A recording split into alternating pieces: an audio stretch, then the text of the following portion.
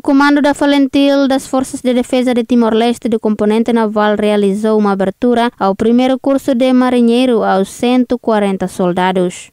O comando das Valentil Forças de Defesa de Timor-Leste do componente naval realizou uma abertura do curso de marinheiro aos 140 soldados. O comandante do componente naval, capitão de mar e guerra, Isino das Neves, afirmou que os soldados devem saber a natação, usar materiais do navio, incluindo o combate dos fogos no mar e salvos. O comandante informou ainda que depois de os soldados terminarem a formação, estes vão transformar-se para grumente.